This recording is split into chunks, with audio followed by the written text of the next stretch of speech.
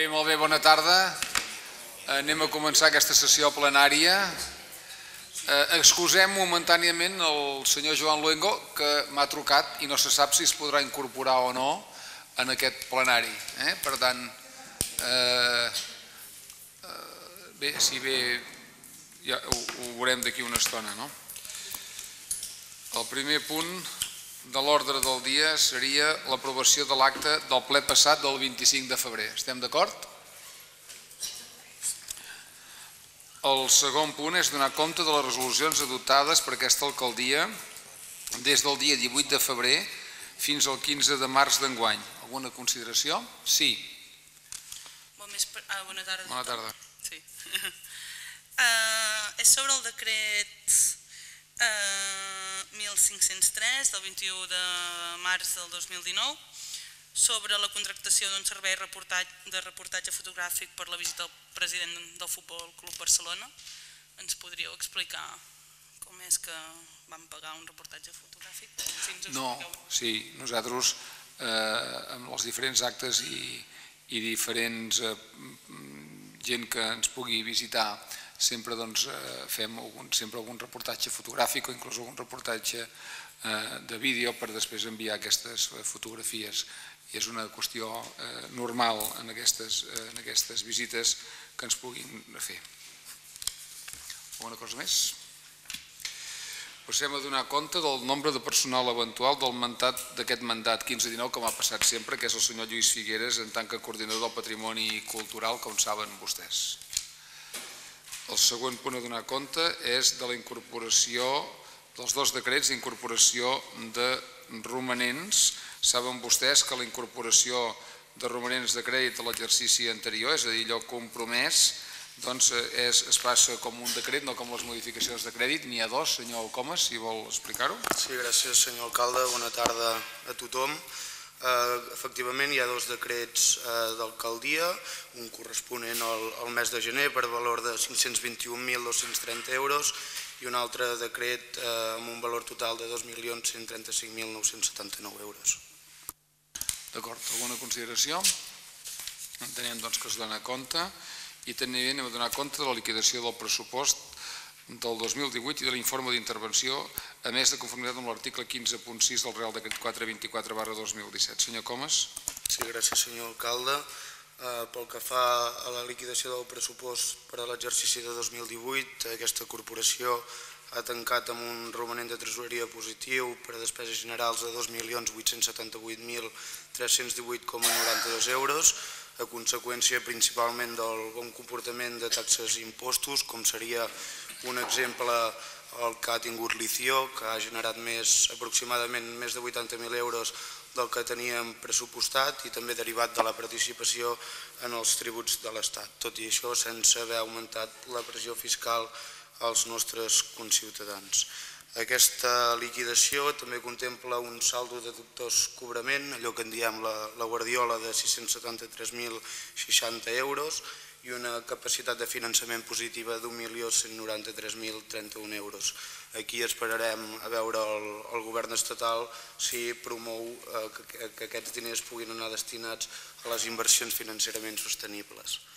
Finalment, el, el rati d'endeutament és del 45,61%, el que ens permet o ens permetria endeutar-nos en el cas de necessitats excepcionals i el pagament de proveïdors és a 17 dies i per tant aquests segueixen treballant amb total seguretat amb aquest Ajuntament. Per tant, aquesta liquidació ens mostra que aquest Ajuntament, aquesta corporació segueix gaudint d'una bona salut econòmica, financera i també pressupostària. Sí, senyor Comas, alguna observació en compte?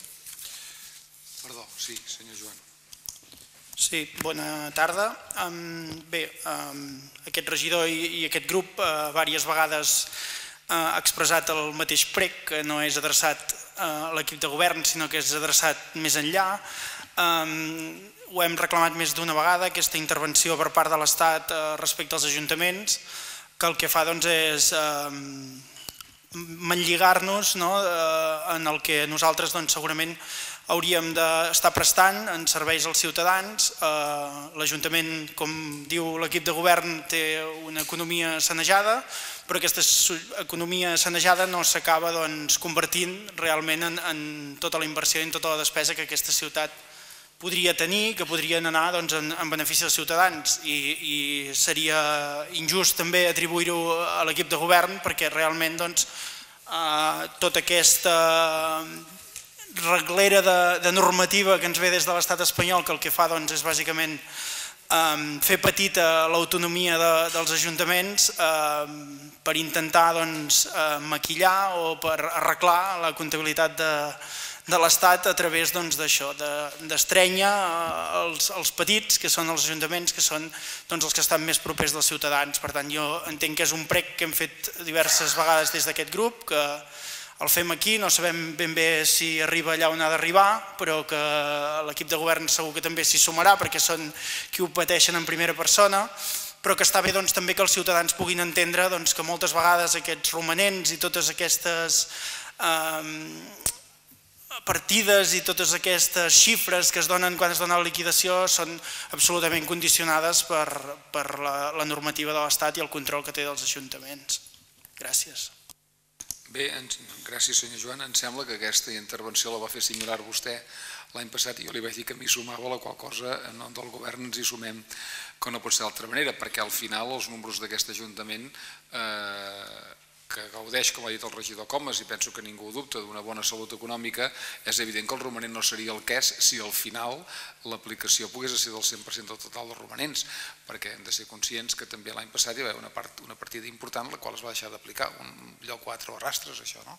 A part del bon comportament, com ha explicat el regidor Comas, que han tingut tots els ingressos, perquè el bon comportament per sort ha set de tots els ingressos. Ha posat un exemple que és l'ICIO, però les plusvaules, malgrat la número normatiu i tenim moltes plusvaules congelades, en aquest moment també han tingut un comportament bo.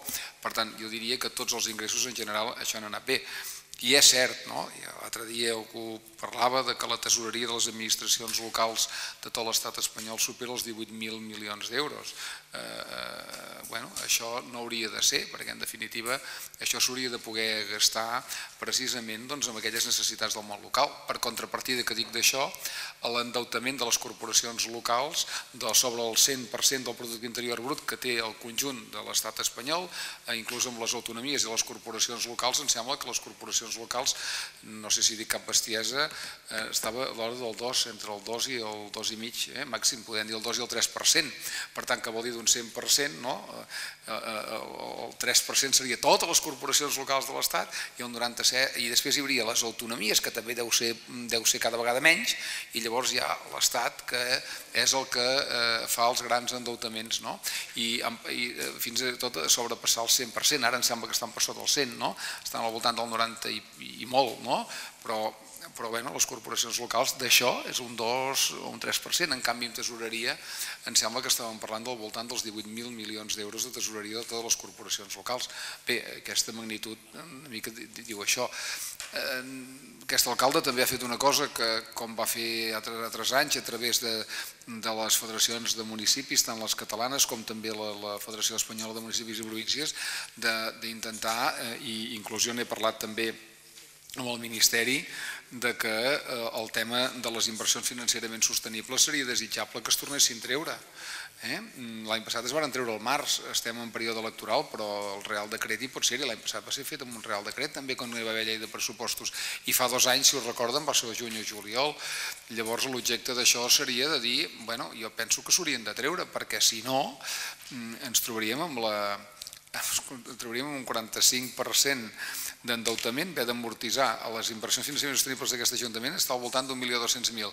Doncs mira, és que avui en parlàvem, seria com tornar a milió 200.000 aquest any i l'any que ve el, deutament normal afegir el milió 200 perquè pots endeutar-te per l'any que ve que has amortitzat aquest any, per tant haurien de fer 2 milions 900 o 3 milions, però és que no tindria sentit baixar el, el, el 30% l'endeutament quan després la roda es pararia, perquè al final de tot seria impossible.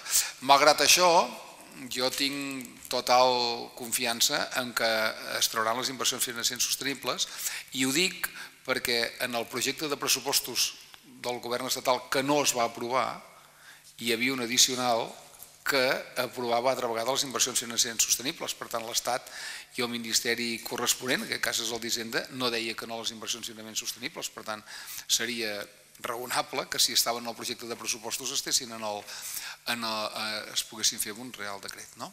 Però bueno, tot això eh, està per veure. Eh? És. Molt bé. Per tant, com diu vostè, eh, ens subscrivim total el comentari que vostè ha fet perquè, i, que el repeteix de l'any passat perquè se'ns sembla una lògica aplastant. Molt bé, moltes gràcies. I en l'1.6 donaria en compte de l'operació de, de tesoreria, de crèdit, perdó, del, de, del pressupost, senyor secretari, que jo aquesta proposta no la tinc.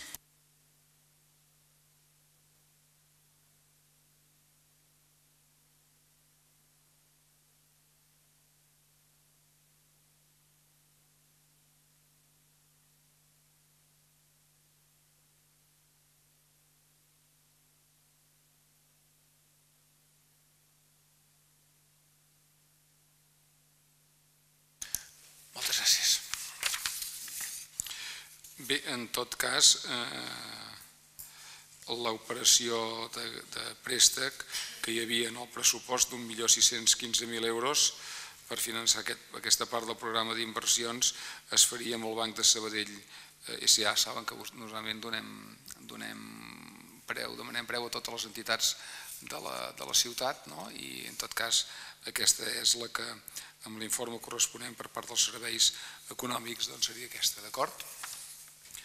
Eh, és l'Euribor més 0,52 pipos, eh? d'acord amb la prudència financera. Eh? És un donar compte, eh? és un donar compte d'un decret nou. Eh? Passem a la Comissió Informativa de Serveis Generals. Seria la ratificació del decret d'alcaldia de modificació de la celebració de les reunions de la mesa de contractació de caràcter permanent. Senyor secretari.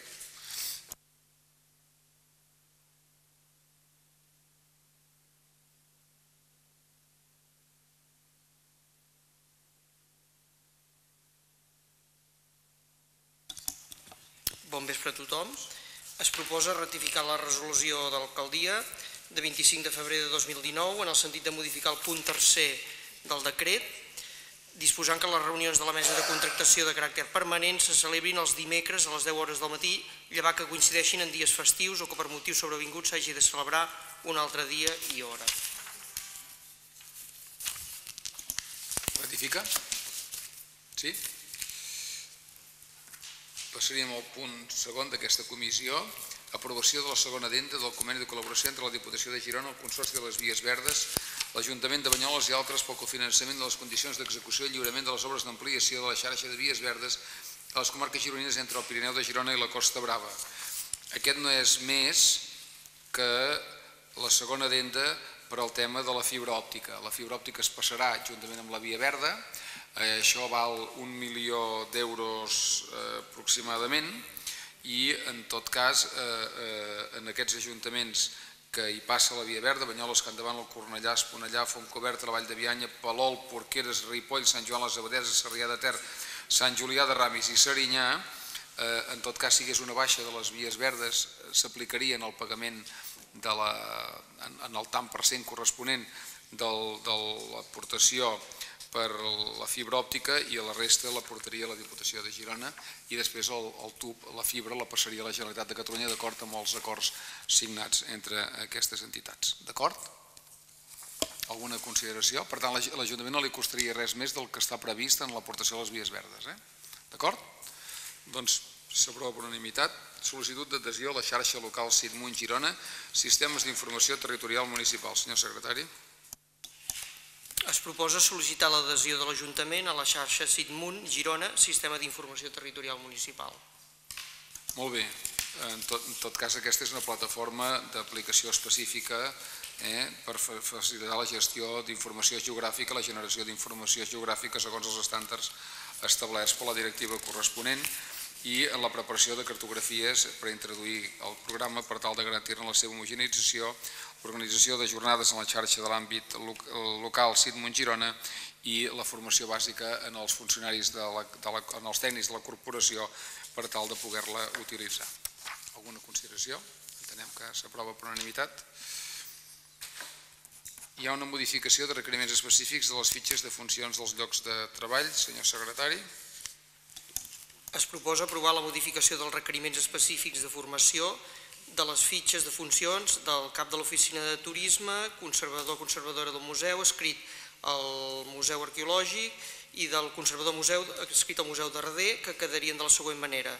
Cap de l'Oficina de Turisme, requeriments específics, cicle formatiu en especialitat de guia, informació i assistència turística, o bé grau en turisme o publicitat i relacions públiques o titulació equivalent, conservador o conservadora del museu escrit al Museu Arqueològic Comarcal de Banyoles, requeriments específics, llicenciatura o grau en Història i o Arqueologia i o Humanitats o altra titulació relacionada amb les funcions del lloc de treball.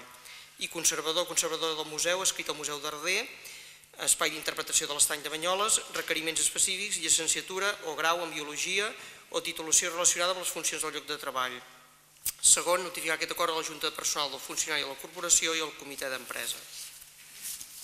Moltes gràcies. Alguna consideració per part de vostès? No? Entenem doncs perquè queda aprovat. Perdó, ah, votem diferent. Eh, vots en contra, n'hi ha algun? Abstencions? Vots a favor? O resta? Per tant, entenem eh, que queda aprovat amb l'abstenció dels dos eh, regidors de la CUP i eh, amb els vots a favor del govern i del grup d'Esquerra. Passaríem a la Comissió Informativa d'Hisenda i Serveis Econòmics, l'aprovació de l'expedient de modificació de crèdit 17 barra 2019. Senyor Comas, té la paraula. Sí, gràcies, senyor alcalde.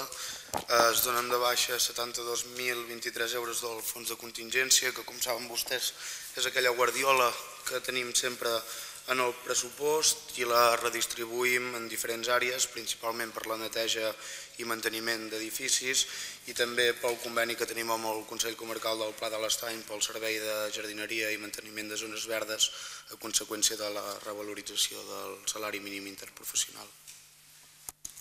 Alguna consideració per part de vostès? Ah, perdó. Sí, és un canvi de redactat en, en les bases en matèria de contractació. Alguna consideració per part de vostès? Sí, senyora Pazos. No, simplement explicar que, com sempre, ens abstenim en aquests casos i ens, ens abstinem en aquest també. Vostès? Per tant, si passem a la votació, vots en contra no hi hauria cap i abstencions hi hauria els del grup de la CUP i del grup de Junts per Banyar l'Esquerra Republicana i els vots a favor del govern, d'acord? Ordenances fiscals, modificació de les ordenances fiscals número 5 i número 11. Senyor secretari. Es proposa modificar l'article 11 de l'ordenança fiscal número 5, reguladora de l'impost sobre construccions, instal·lacions i obres, relatius als règims de declaració i ingrés de l'impost. En segon lloc, es modifica l'apartat 11.2.2 de l'ordenança fiscal número 11, reguladora de les taxes per a la utilització privativa o l'aprofitament especial del domini públic local relatiu a les tarifes de la Fira de Sant Martirià i també Fira Estoc, en concret preveient unes bonificacions del 50 i del 100% en uns casos concrets. I tercer lloc, exposar al públic durant un termini de 30 dies hàbils el present acord, mitjançant publicació al butlletí oficial de la província, el tauler d'anuncis i inserció d'un anunci en un diari de major difusió de la província a fi que els interessats puguin examinar l'expedient i formular les al·legacions que creguin oportunes. Al supòsit que no es formulin al·legacions, l'acord provisional serà elevat automàticament a definitiu sense necessitat d'adoptar cap altre acord. I en quart lloc, en aquest cas, l'acord provisional sigui elevat a definitiu, publicar les modificacions de les ordenances fiscals en el butlletí oficial de la província. Bé, en el primer lloc, del el que seria l'article 11 del règim, aquí no es modifica res, diguem, del tipus, eh? només és un tipus de clarament de l'autoliquidació i en el següent és eh, el que havíem parlat també en sessió plenària, que s'havien interessat alguns dels grups aquí presents en el sentit de la bonificació del 50% per la gent que torni a venir, el que repeteixi, diguem, en la fira eh, de novembre, en el Firestany, de la gent que va estar dintre i que no va haver de plegar, però sí que evidentment amb la pluja que va caure no hi havia tanta afluència i el diumenge inclús no es va poder aprofitar tot el dia. I el 100% d'aquella gent que estava en el Firestany i que en tot cas mm, no varen poder eh, executar la, la, la, la fira perquè va ploure tots els, tots els dies. Eh, i la gent, del, la gent que va parar diguem, al mercat d'artesania aquests ja se'ls hi va tornat perquè aquests ja no hi va haver, va quedar suspès aquest mercat d'artesania i per tant aquesta gent ja se'ls ha tornat diguem, en el decurs de l'any la, la taxa que havien pagat amb anterioritat no? aquest només és el tema del firestany en aquest cas eh? d'acord? Sí, Sí, bé, nosaltres només per explicar el sentit del nostre vot, eh, quan els mesos d'octubre s'aproven les ordenances fiscals nosaltres sempre votem en contra perquè creiem i insistim sempre que s'han de revisar amb la seva totalitat. Eh, per això nosaltres en aquest cas ens abstindrem per ser coherents amb, amb el que votem a l'octubre, ja que entenem eh, el fet que està portant a modificació aquestes dues ordenances fiscals, sobretot la 11, i per això creiem que el nostre vot ha de ser d'abstenció, però no pot ser un vot favorable per al motiu que acabo d'expressar. Costa una mica més, eh, fer tot el pas. Eh? Del contra passem a, favor, passem a l'abstenció. Bé, no, bromes a part, si m'ho permet. Nosaltres no portaríem una modificació d'ordenances perquè d'octubre perquè el fet es va produir al novembre no? i per tant en tot cas no teníem, no teníem més solució que portar-ho ara en una unificació. Si, si això hagués passat a l'anterioritat, a l'aprovació de l'ordenança, ja hagués quedat introduït en el seu moment. La sort és que ara vostè s'hi absteni i després ho hagués votat en contra, no? per tant, és millor. Gràcies, eh? molt amable, gràcies. Vostès? Vostè s'abstendrà? No, a favor, ah, a favor. A favor. Per tant, entenc que hi ha dues abstencions que són del grup de la CUP i les de més són tots a favor. Eh? D'acord? Per tant, 14 a favor, dos abstencions.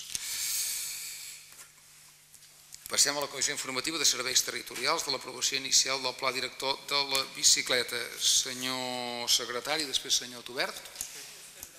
Es proposa aprovar inicialment el Pla Director de la Bicicleta redactat per Assessoria d'Infraestructures i Mobilitat Societat Limitada. En segon lloc, disposar la submissió del projecte esmentat d'informació pública amb audiència als interessats pel termini de 30 dies per presentar reclamacions i suggeriments mitjançant un anunci al butlletí oficial de la província, diari oficial de la Generalitat, a un dels mitjans de comunicació escrita diària i en el tauler d'anuncis de la corporació.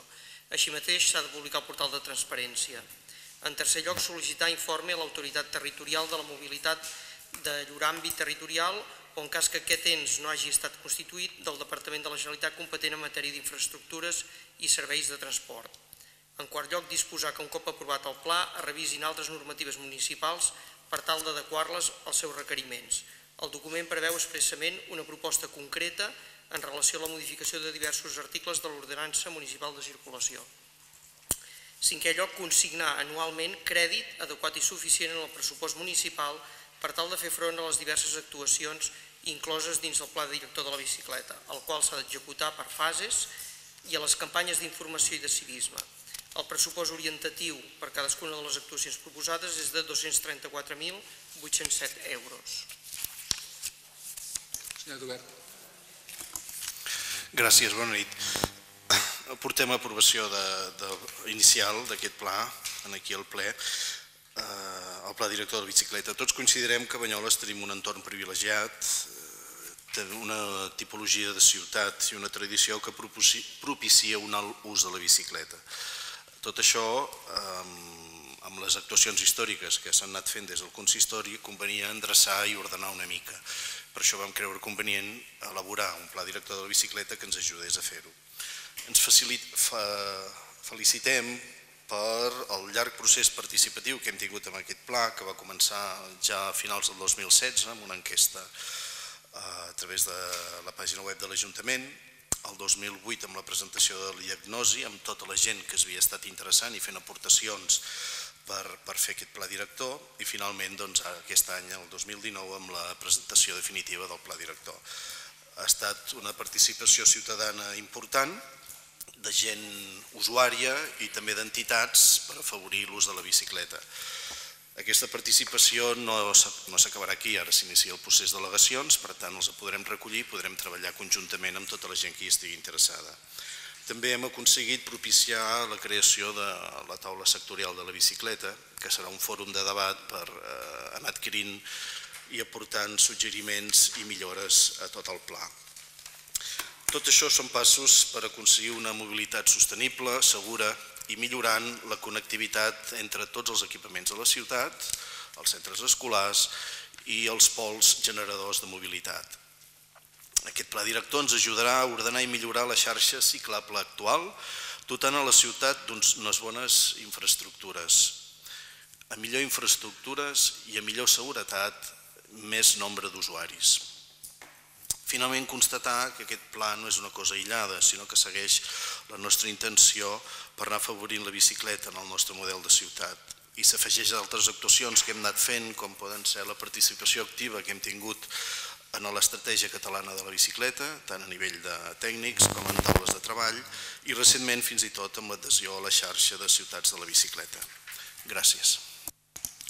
Alguna consideració? Sí, senyor Casadevall?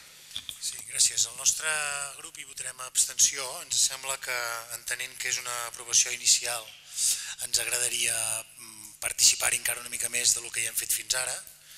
Molt d'acord amb el regidor de que s'ha pogut participar i que s'ha obert, però entenem que li falta una mica més en el pla i llavors eh, entenem que a poc a poc l'anirem enriquint entre totes, doncs farem les al·legacions pertinents en aquest mes que hi ha i ens agradaria doncs, que fos una mica més ambiciós i per tant apretarem a veure si som capaços de, de convèncer-los de que ha de ser una mica més gros. Molt bé, vostès? Bé, nosaltres, doncs, com ja hem dit eh, i hem repetit diverses vegades, doncs, el, la necessitat de que la nostra ciutat tingui doncs, un bon, una bona xarxa de carrils bicis doncs, ha sigut des de l'inici d'aquesta legislatura doncs, una de les prioritats del nostre grup i hem fet i hem treballat en aquest sentit. Eh, davant d'aquest pla director doncs, que ara ens trobem, ens sembla que que veure que encara hi ha doncs, algunes mancances i que encara podríem anar doncs, una miqueta més enllà.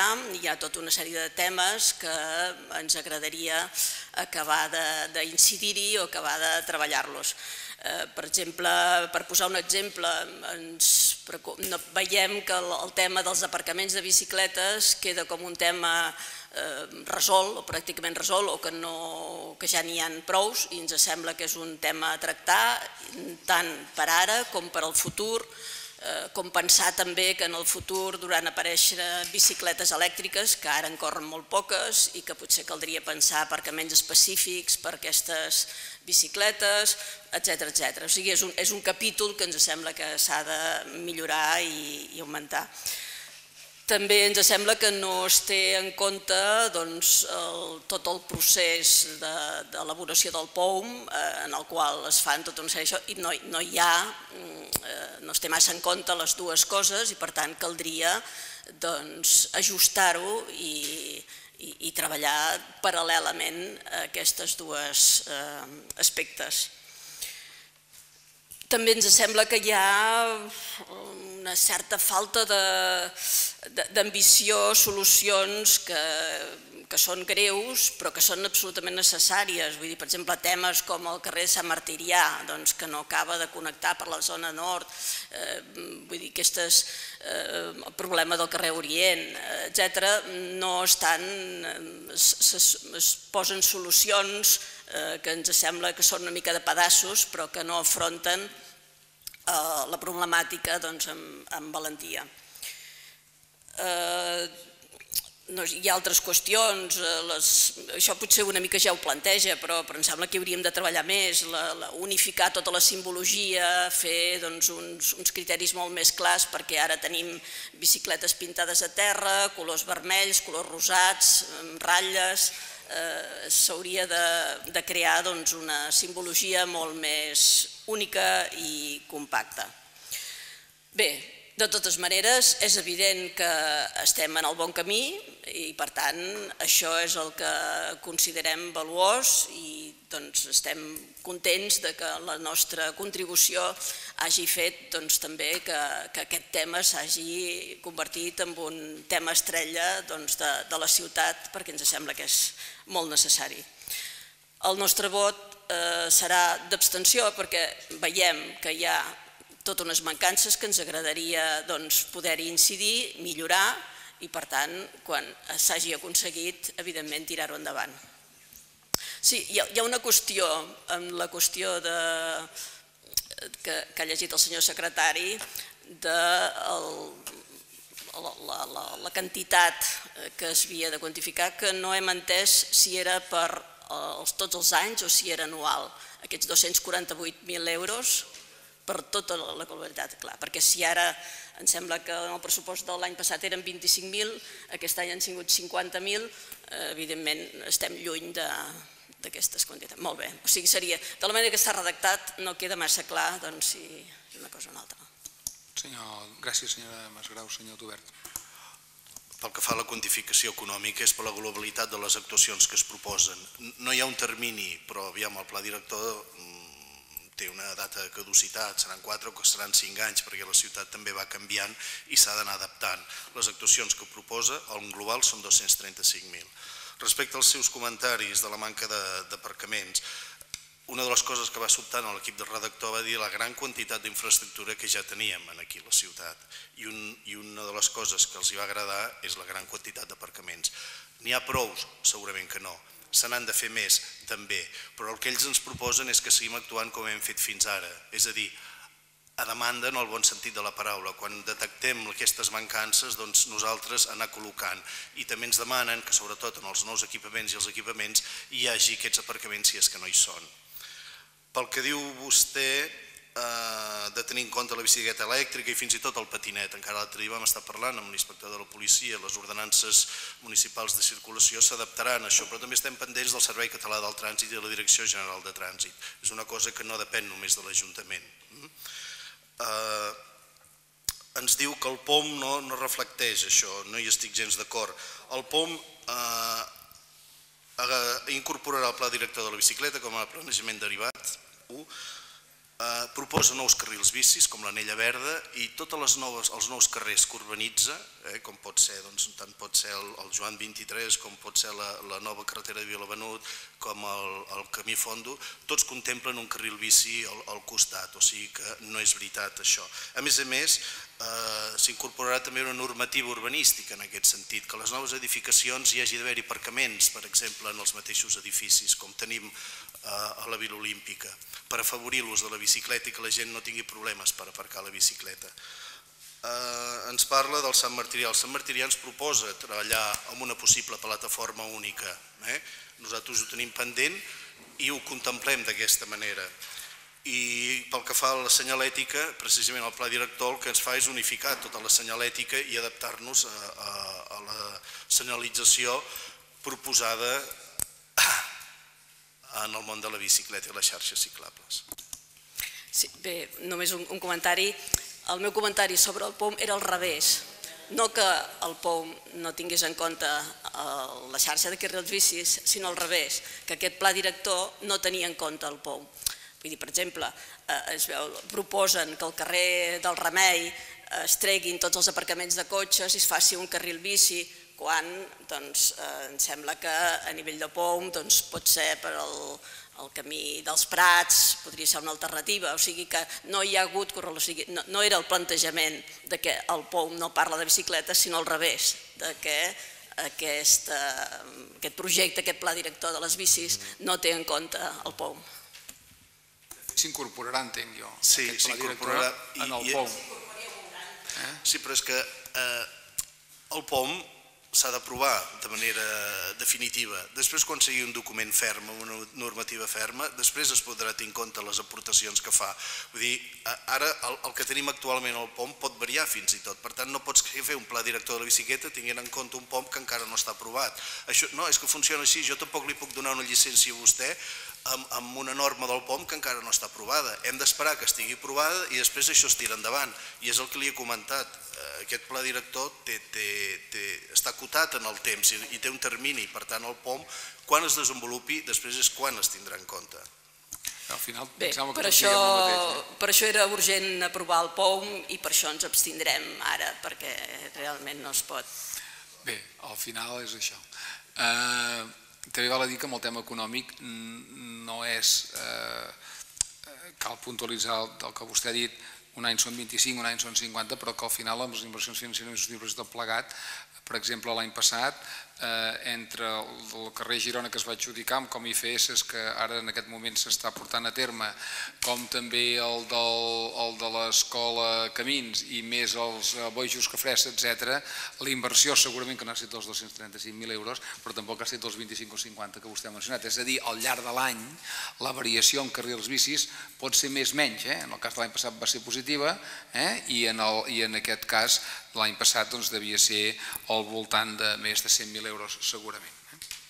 Pues sí, però val la pena doncs, potser posar-ho perquè així no, però, es magnifica. Clar, no? però si ara hem de fer un milió 200.000 euros d'IFS, probablement doncs, carrils bici n'hi hagi d'haver. Eh, senyor Luengo, que vostè s'incorporara, amb alegria per tots eh, que la seva incorporació, eh, perquè sabíem el que passava i per tant, eh, des d'aquest punt de vista, molt bé. Eh, I si vostè vol fer alguna eh, aportació en aquest punt 4 del pla director de la bicicleta, té la paraula. Sí, gràcies, bona nit. Arribo amb el tema de la bicicleta que sempre ens ha fet, eh, el lema d'iniciativa, per tant, arribo just. Eh, miri, nosaltres ens abstindrem, ens abstindrem perquè hi ha moltes propostes que veiem molt positives, hem estat a les dues reunions, tant a la que es va fer a la cúpula com es va fer en el, en el Museu d'Arder. Hi ha algunes propostes que nosaltres creiem molt positives, sobretot posar sobre el mapa i programar com es desenvoluparan els carrils bici, creiem, i és eh, sincerament, que anem tard, creiem que això és una feina que hauríem d'haver fet fa molts anys enrere, no només quan governaven vostès, sinó temps enrere també s'hauria d'haver fet, per tant anem tard, però sí que és veritat que és positiu, eh, hi ha propostes eh, molt positives, però creiem que hem d'estudiar bé com s'encaixa aquest pla director amb el pla d'ordenació urbanística municipal, és a dir, quina Eh, si aquí s'encaixa, si aquí hi ha unes línies conjuntes, això els hi vaig expressar en la reunió que vam tenir en el, en el Museu d'Arder, els hi vaig expressar això, els hi vaig dir que sí hi havia calendari, hi havia priorització, vostès van dir que sí, per tant eh, ens abstindrem per estudiar-lo detalladament i mirar si es coordina amb el Pla d'Ordenació Urbanística Municipal. Bé, eh, hem dit, vostè no hi era, el regidor Tobert el que ha dit és que aquest document s'incorpora en el POM. Eh? Cas, després la senyora Masau deia abans o després, no? però en tot cas eh, el que bo és que l'incorporarem a fi efecte de que la seva producció definitiva del POM doncs, pugui estar incorporat i després s'hagi de modificar amb el que es pugui. Per tant, entenem que no hi ha cap vot en contra, jo entenc que hi ha 8 abstencions i entenc que hi ha 9 vots a favor i per tant quedaria aprovat inicialment amb el compromís de seguir-ne treballant doncs, per la seva aprovació definitiva. Passaríem al punt 4.2, que és l'aprovació inicial de la modificació provisional perdó, de la modificació puntual del text reforç del Pla General al sector del paratge de Canvi Nardell del veïnat de Puigpalter promogut pel senyor Ferran Vilavila. Senyor secretari, senyor Tobert. Es proposa aprovar provisionalment la modificació puntual del text reforç del Pla General d'Ordenació Urbana al sector de paratge de Canvi Nardell del veïnat de Puigpalter promogut pel senyor Ferran Vilavila, d'acord amb l'informe tècnic i jurídic emès per l'arquitecte municipal i la cap del Servei d'Urbanisme en data 15 de març de 2019, que consta l'expedient i que estableix una sèrie de condicions, i en segon lloc trametre còpia de l'expedient a la Comissió Territorial d'Urbanisme per la seva aprovació definitiva. Gràcies, senyor Tobert. Uh, el que dèiem, portem aprovació provisional d'aquesta modificació del Terrafós per al sector del paratge de Can Vilardell. Només fem la modificació del del reforç del Pla General. Això queda pendent del Pla Especial per la planta de transferència futura.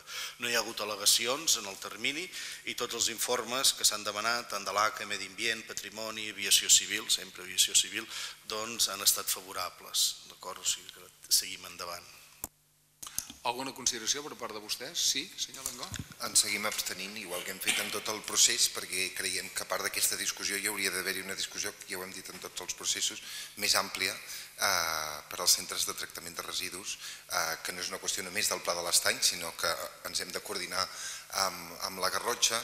Per nosaltres és prioritari fer el centre de tractament de residus a la, a la Garrotxa abans que el del Pla de l'Estany, però ja que manca aquest acord, eh, va bé tenir eh, aquesta d'aquí, és a dir, la, la, la d'aquí encara que sigui molt petita, però eh, aquest joc de sí però no ens abstenim eh, amb coherència amb tot el que hem fet fins ara. Sí, només una puntualització perquè ens situem tots plegats.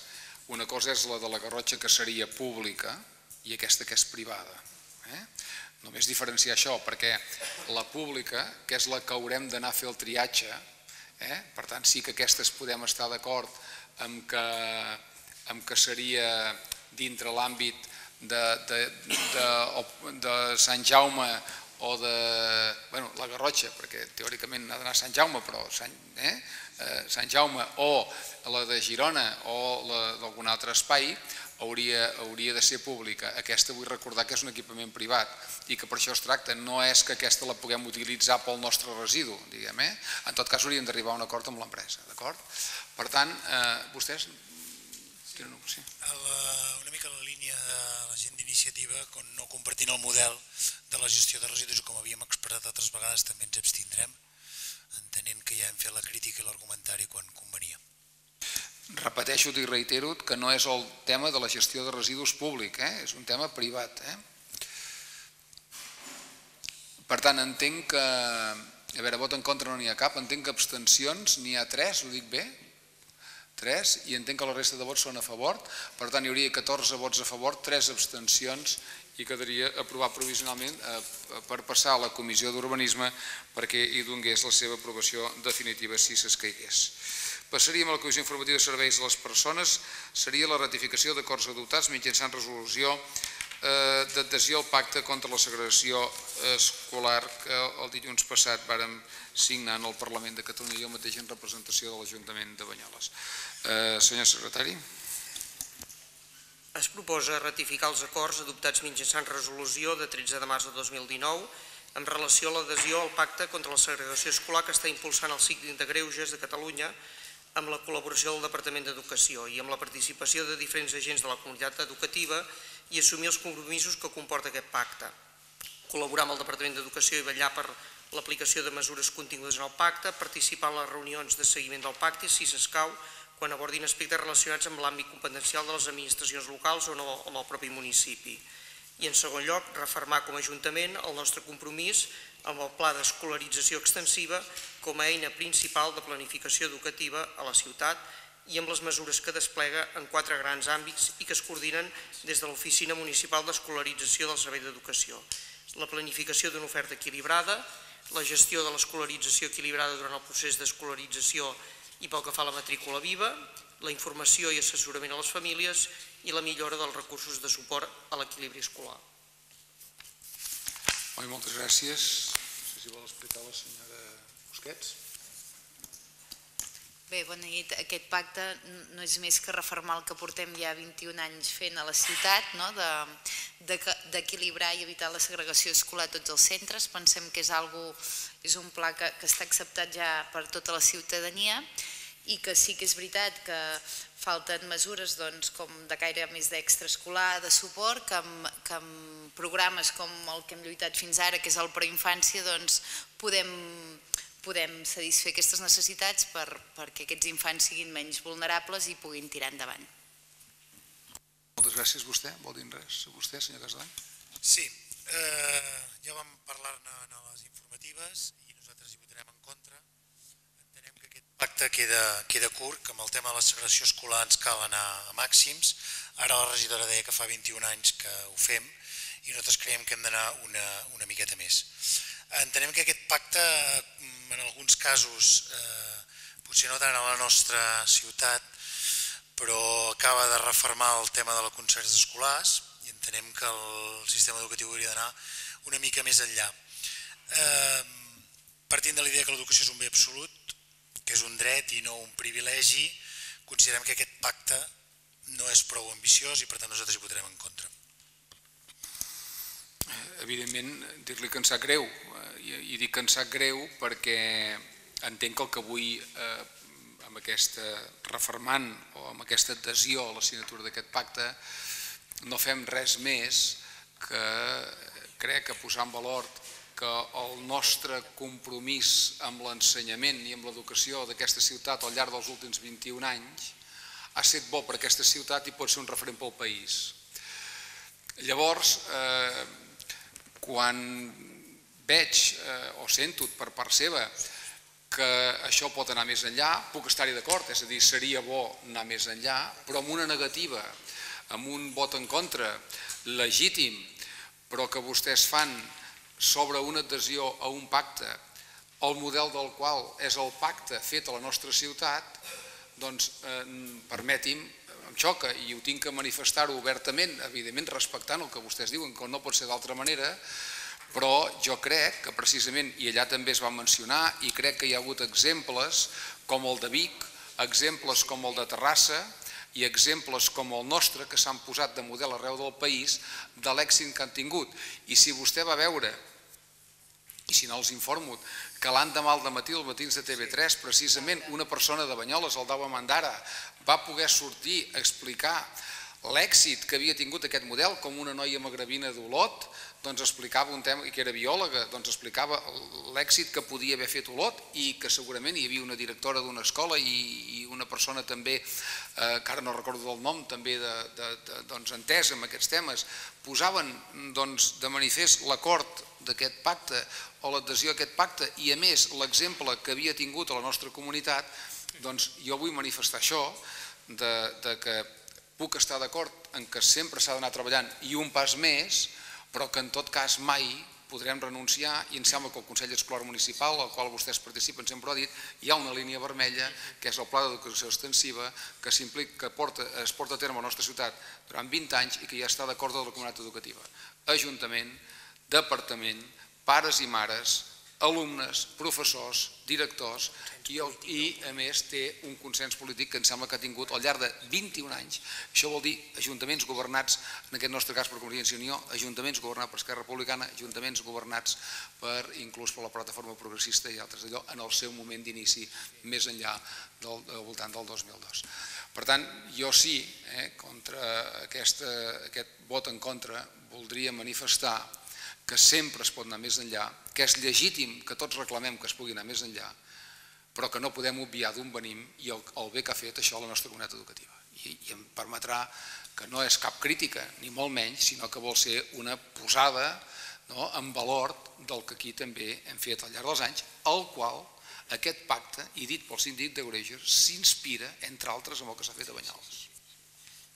Si vol dir sí, no, no, jo sí, estic d'acord amb que eh, que hem fet a la ciutat de Banyoles és, és molt important i em sembla que ho hem dit en, el nostre, en la nostra aportació i que a més a més es, reconeixem la feina. Eh, el que no ens sembla és que ens hàgim de quedar aquí, només és això. I llavors entenem que reconeixent la feina, reconeixent que hem sigut model per altres elements i reconeixent, com també deia la regidora, que encara ens queda camí per recórrer, entenem que no es tracta de validar el que volem, sinó aspirar a més. Només això. Bé, moltes gràcies, estant-hi d'acord. També vull manifestar que la qual cosa ens sap greu és de que per primera vegada en 20 anys trenquem aquest consens polític al voltant del Pla d'Educació Extensiva. La qual cosa també ens hem de mirar, que és una cosa que pot ser una anècdota o no pot ser una anècdota. A mi m'agradaria que fos una anècdota eh, el que avui passa, però en, en certa manera avui sí que trenquem aquest consens que hi ha al voltant del nostre Pla d'Educació Extensiva.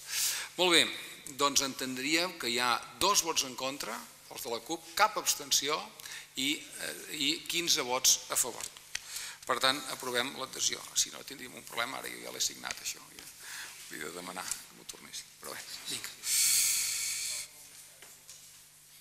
Mana? Perdó. Hi ha un assumpte sobrevingut, que és l'aprovació d'una modificació de crèdit, la 18 barra 2019, encàrrec a romanents de tesoreria. Primer de tot, estem d'acord amb la incorporació a l'hora del dia? Sí? La regència es vota. Senyor Comas, té la paraula. Sí, gràcies, senyor alcalde. Simplement és una modificació de crèdit en càrrec al romanent de tresoreria per valor de 87.518 euros. Molt bé, alguna consideració, senyor Lengo? Vostès, vostès tampoc? Sí, senyora Pazos? No? Eh, ja, ara l'ha entès. Passem a la votació. Vots en contra? Abstencions? Per tant, vots a favor, per tant, no vots a favor i 8 abstencions queda aprovada aquesta modificació de crèdit.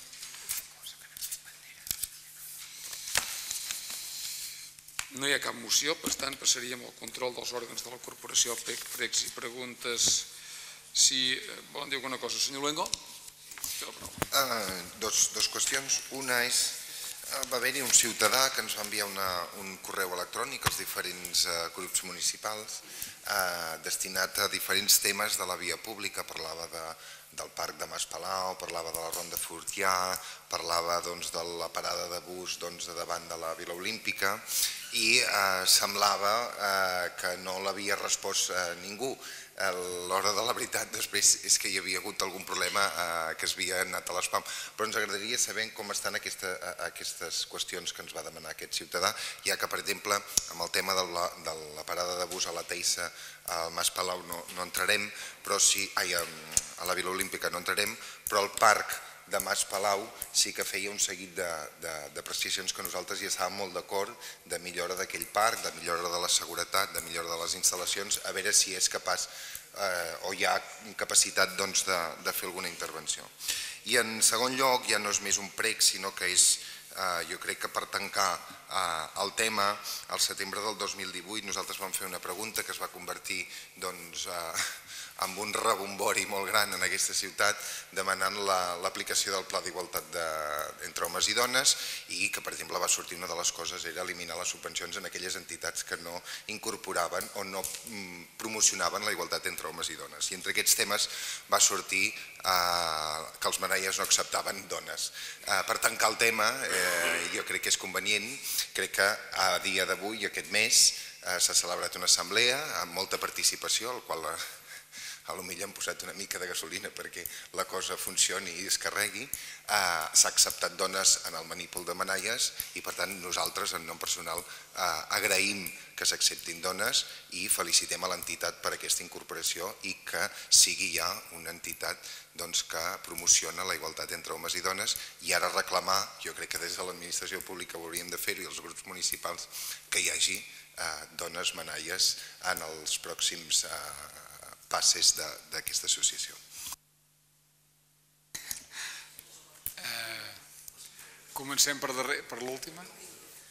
Eh, evidentment, eh, del setembre del 2018 amb l'Odara jo penso que és positiu, és a dir, estic absolutament d'acord. Eh, jo el 2018 li vaig dir-li que no compliria que no faríem el que vostè demanava, que era que els deixéssim de subvencionar. I vaig dir, escolti, si continuem donant la subvenció, en cap moment vaig dir, però escolti, que no incorporin dones, no vaig dir això, vaig dir el contrari, vaig dir, escolti, nosaltres no ho deixarem de fer, cada entitat que faci lliurement el que vulgui. Això s'ha posat en una assemblea, a l'ordre del dia, s'hi ha anat, s'ha votat, a Girona em sembla que els manaies ja ho havien fet, jo crec que és una de les qüestions que ha impulsat, no sé si la seva, eh? no ho sé si la seva, no ho sé, no ho sé, no, no, no, no, al final, escolti, tot pot anar per aquí, vull dir, tot pot, pot ser positiu a la vida, no?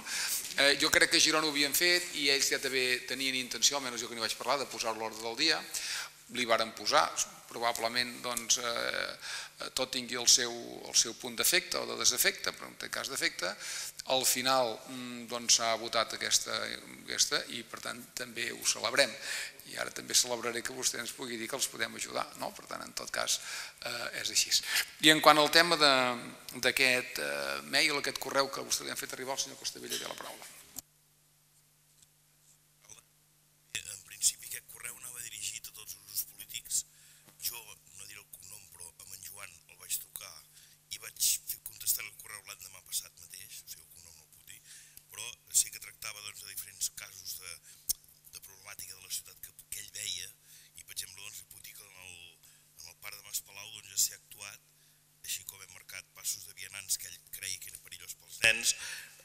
Esment d'algun joc que deia que no sabia com funcionava, li vaig explicar com anava, i després doncs, també eh, li vull dir que canviarem la barana d'aquí pocs dies de, de Mas Palau. A part d'això, és veritat que va parlar de la parada del bus, de la Teissa, que tots sabem que és un perill, i la policia està estudiant de fer-ho al revés, fer el pas de vianants darrere la parada de la Teissa davant, que això seria poder la solució, i llavors doncs, també eh, li vull dir doncs, que a més a més d'això doncs, parlava de la problemàtica eh, del carril bici quan arribes a la Puda, que tenim problemes perquè hi ha aquelles cases, però clar, això és un tema urbanístic que s'està mirant i s'està intentant solucionar i no es pot arreglar en dos dies. Jo li vaig dir que en breu, eh, a part de que el vaig contestar, tal com li dic, en breu, eh, que m'ho deixés mirar pels tècnics que estàvem treballant i que rebria resposta del que es havia fet en breu, en pocs dies. Gràcies. Bé, moltes gràcies. Vostès? Senyora, senyor Casvall? Vinga. Sí, jo faré una qüestió molt breu. El, degut al malaurat accident que hi va haver a la FARC, aquí va haver un atropellament eh, en un dels passos de vianants, eh, ens agradaria fer-los el prec de que no sé si estaria eh, tot en un element que ja havíem parlat de que, quines mesures podem fer perquè els, els cotxes hagin de reduir la velocitat en aquella avinguda. Eh, entenent que o es poden posar els passos de zebra aixecats o uns pagats de goma si creiem que pot dificultar la marxa dels camions, però ens sembla que hem d'aconseguir posar-hi alguna mesura per reduir la velocitat del trànsit rodat en aquella avinguda, entenent que hi ha molta gent que hi creua i a més a més que hi ha un centre escolar. Bé, jo faig, continuo. Uh, ens agradaria saber si hi ha algun, si està planejat fer algunes mesures per millorar la vialitat en el barri vell. Vialitat, bé, la circulació de cotxes vialitat. Eh, de Barri Vell. Eh, una, altra, una altra pregunta és sobre... No, fa uns plens se'ns va dir que s'havia arranjat la caldera de la vila. Eh, aquest, durant aquesta setmana hi ha hagut alguns incidents, almenys això ho van fet arribar, que els Mossos hi han hagut de passar. Ens agradaria saber si què ha passat. I finalment des del nostre grup polític volem felicitar l'organització de la Marxa dels 40. Creiem que una vegada més s'ha demostrat que les entitats poden organitzar eh, esdeveniments esportius populars i respectuosos amb l'entorn i aquest cap de setmana ahir es va demostrar.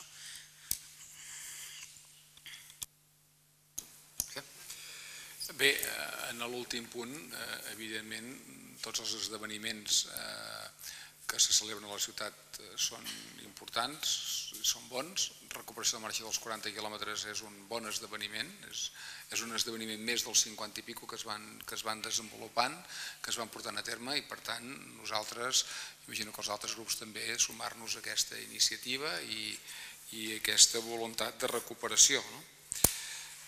En quant al tema de la vila és sempre el mateix tema, és que en un moment determinat la caldera fa fum i algú si és el cap de setmana es vera, truca a la policia, però la caldera funciona amb tota normalitat. Eh? Per tant, això ens ha passat moltes vegades, eh? aquestes calderes que van així, i segur que algú d'aquí ens ho podria explicar molt millor, eh? doncs, eh, quan carreguen, quan crema doncs, el, el doncs al final doncs treu una de, de fum i algú avisa a la policia, la policia hi va, veu que funciona tota normalitat i no passa res. Em sembla que és la cinquena, sisena o setena vegada i no serà ni l'última, eh? no serà ni l'última ni la penúltima, però en tot cas això en un moment determinat, el diumenge sobretot, que és quan eh, torna a engegar, perquè avui eh, el dilluns, com van els nanos, estigui calent, doncs al final això passa. Però no és perquè la caldera falli, eh? no és perquè la caldera falli, eh?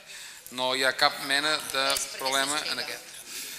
En quant a la vialitat del barri vell, eh, no sé si té alguna cosa a afegir-hi, mm, senyor Costabella.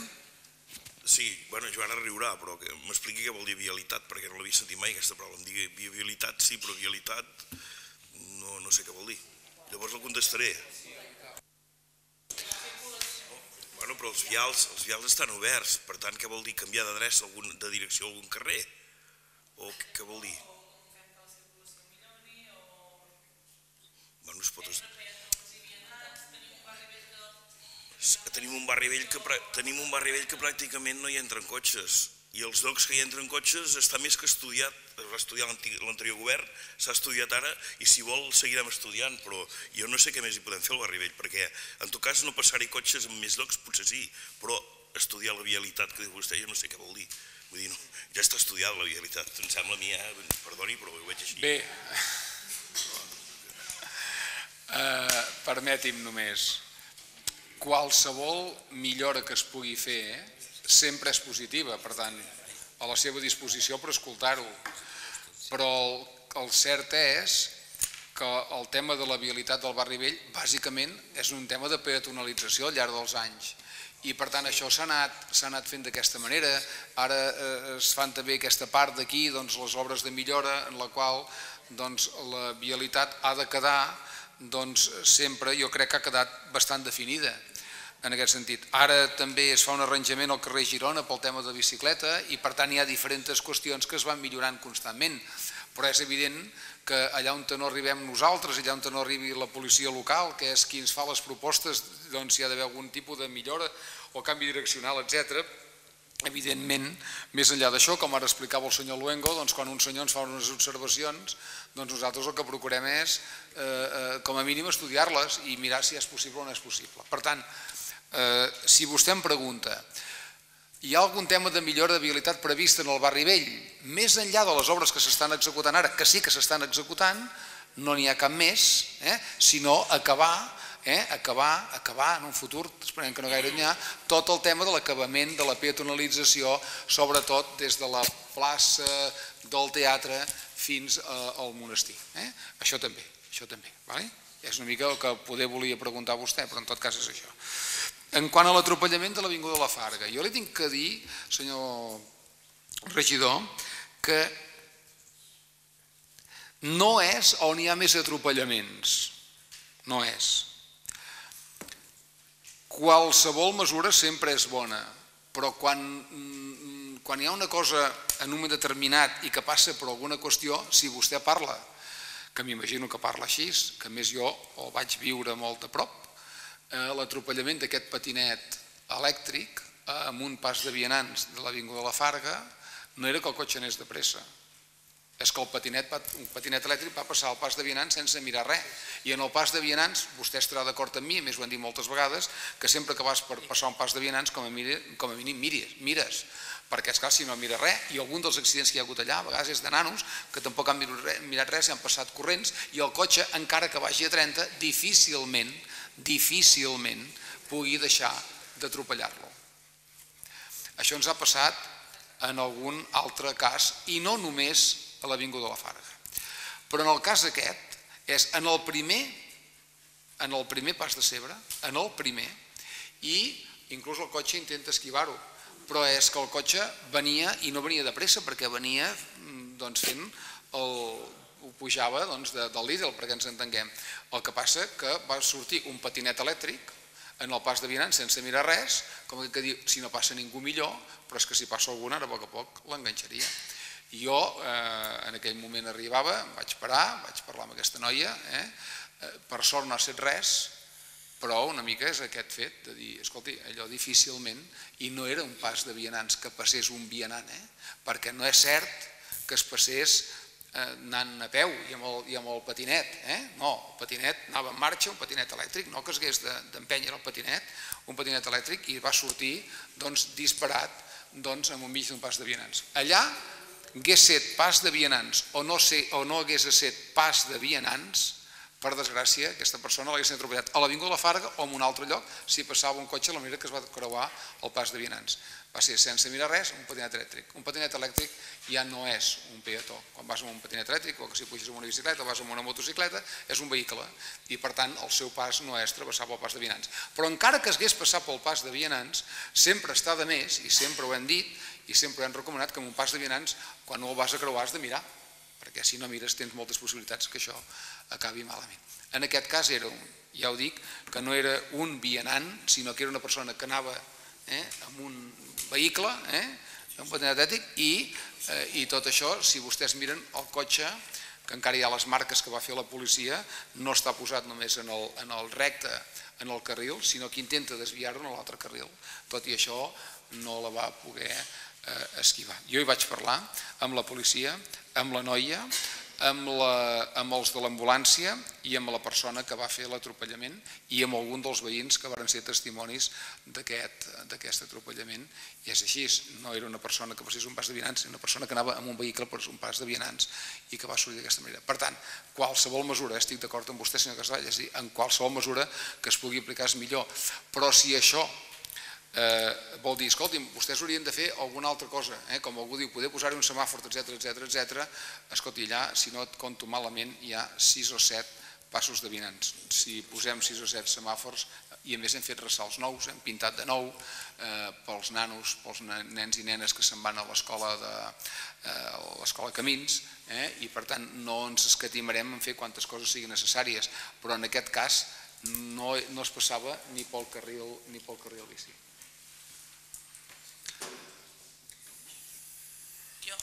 Per al tema que estàvem debatent fa uns instants. Uh, a Barri Vell passen cotxes i la meva pregunta potser l'hauria d'haver especificat més, però alguna mesura de circulació de quina entrada i sortida fan, perquè realment jo el que veig és que entren i surten molts cotxes per al mateix lloc i potser ordenar-ho una mica ens facilitaria tots i totes els que passar caminant tranquils, eh, els nens estan jugant per allà com sigui corrent, que no hi hagi cap mena de perill. Bé, en el barri vell hi ha no sé quina entrada o sortida vostè vol dir. Vol dir, vol dir el carrer Girona, vol dir, vol dir el carrer Valls, el carrer Mercadal, eh? Bueno, sí, sí, sí. Bé, els cotxes que passen en allà són que tenen comandament o, en el cas que hi hagi a la càmera lectora, els que estan introduïts dintre la càmera lectora. I els que passen sense tenir la càmera lectora, evidentment, eh, tenen la corresponent avís o sanció en el seu cas. Eh? Però, escolti, jo, més enllà del comentari que fa vostè, que puc, eh, eh, podem estudiar-ho, jo no tinc en aquest moment cap percepció de que allà hi ha una situació de perill, ni perquè l'hàgim detectat nosaltres, ni perquè l'hagin detectat veïns, ni perquè l'hagi detectat la policia. Malgrat això, aquesta consideració que fa vostè la posaré en consideració a la policia, d'acord? Molt bé, vostès, senyors d'Esquerra. Bona tarda. Ja acabarem perquè són preguntes senzilles. Una ve perquè un dels eh, vidells o ujiers d'un pavelló que estava per allà em va dir si li ensenyava anar el desfibrilador, dic que no t'ho han ensenyat. Diu, a mi no. Dic, pues era proposar-vos que si realment en els pavellons, els ujiers, i aprofitar si se'ls hi pogués fer algun curset o renovar perquè sé que en feu eh, de regulars. No?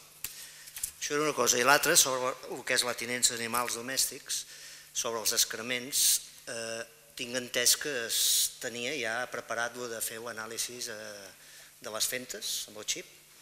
Això s'aplica perquè realment, jo us diré localitzacions que són regulars, no és que sigui cada dia, però sempre és la mateixa, si, si ho esteu fent.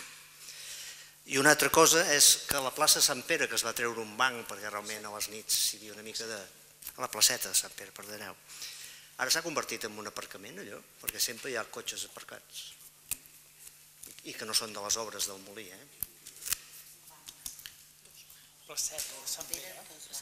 Jo he entès que deia el desfibriladors, que els conserges dels pavellons, eh, algun no estava al cas de, de fer-los funcionar.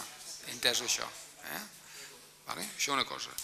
Ara en celebrem els 10 anys, hi ha una xerrada al mes d'abril. Ah, perdó, perdó. Perdó, perdó. Bé, acabo de contestar aquesta i després. I, i per tant, dels 10 anys que hi ha una conferència del doctor Brugada el 10 d'abril. Eh? Però és cert que eh, nosaltres eh, cada any això ho fem. En tot cas, eh, si hi ha algú, preguntarem, eh? perquè si hi ha algú que no ho sap, doncs el farem anar amb un curset, evidentment, que no pot ser d'altra manera. Eh? Més grau, perdoni. Sí, no, només era eh, una, adreçar una felicitació pública del nostre grup i suposo també de tota la ciutat aquest Premi Nacional de Cultura que es va concedir en, en Josep Ponsatí eh, que fa pocs dies, un parell de setmanes, eh, se li va concedir. És un artista que ara jo crec que molt oblidat per la ciutat, però que en el seu moment va tenir una, un paper molt rellevant, molt capdavanter, eh, fent unes, uns muntatges realment molt interessants i ara doncs, eh, m'ha sorprès eh, agradablement que se li hagi fet aquest reconeixement, però m'ha semblat que a nivell de ciutat potser no hi havia el ressò que, que, que es devia. No? Si a nivell general doncs, se li fa aquest reconeixement, jo crec que nosaltres com a ciutat també li hauríem de fer. Per tant, la nostra felicitació doncs, en en Josep Ponsatí. Molt bé, en quant a la, la tinença d'animals domèstics, una de les coses que s'ha portat a terme ara ha estat el cens, no? perquè la primera cosa que s'ha de tenir és sensat per poder llavors aplicar el tema del xip i poder-ho i poder-ho aplicar. No? Per tant, jo tinc que dir, no sé si ho havia dit en sessió plenària, però sí que ho havia dit en algun lloc o un altre, que el tema de la gent que hagi pogut, que hagi volgut censar el tema dels gossos ha anat bé, ha anat molt bé. que la gent amb això hi ha hagut dies, eh, ara ja ha passat eh, l'eufòria, però vull dir que quan s'ha fet, que la policia ho ha demanat i que més se'ls ha recordat que en 15 dies ja se'ls ha tornat a recordar que la gent ha vingut eh, gairebé a fer eh, molta gent, jo diria que quasi tots els tenim sensats, sempre quedarà algun que no. Dit això ara eh, hem de fer i hem d'elaborar l'ordenança corresponent per fer el cap de que ja puguem aplicar amb tot això aquest tema. Vostè en trob, jo en trobo, encara avui he trucat, que anessin a netejar alguna, eh, alguna, algun tipus de, de, de sempre de femta que hi ha doncs, en el... Eh? Sí, no, que dir que quan es faci això després s'analitzaran. Eh? Quan tinguem... Ara, no, ara, no, ara s'han censat, no, ara s'han censat, llavors ara s'ha de fer el, tot el protocol aquest i després ja fer tot aquest tema. La placeta de Sant Pere, entès, la placeta de Sant Pere, que sempre hi havia algun cotxe aparcat. Ara estem en obres per fer el, el molí de la Victòria. No sé si vostè vol dir això, són cotxes particulars, que deuen tenir targeta d'accés o no. En tot cas ho comprovarem. Eh? D'acord. No s'hi pot aparcar. D'acord, d'acord. Per tant, això doncs, ho, farem, ho, farem, ho farem mirar. I en quant al tema del senyor Ponsatí, evidentment, no? que en Josep Ponsatí hagi estat premiat doncs eh, estem absolutament satisfets. Eh, bueno, jo en tot cas també vull dir que la ciutat, en certa manera, doncs, amb el tema que hi va haver no, de, del club eh, i de, dels 75 anys de la travessia i es va restaurar aquesta, aquestes, aquesta, l'anagrama del club, que és una escultura seva, no, i algun altre projecte doncs, que, que hi ha en ment doncs, de, de poder doncs, eh, tornar a reviure una mica doncs, el Josep eh, Ponsatí, on recordar-los que en el despatx de l'alcalde sempre hi ha un quadre d'en Ponsatí, no? Doncs de fa molts anys i que en tot cas doncs, estem eh, encantats eh, amb aquest premi i per tant no pot ser d'altra manera jo crec que tot el plenari ens assumem en aquesta felicitació que li farem arribar. Moltes gràcies. Alguna qüestió més? S'aixeca la sessió aquí? Alguna qüestió del públic? No? Per tant entenem que s'aixeca la sessió. Moltes gràcies.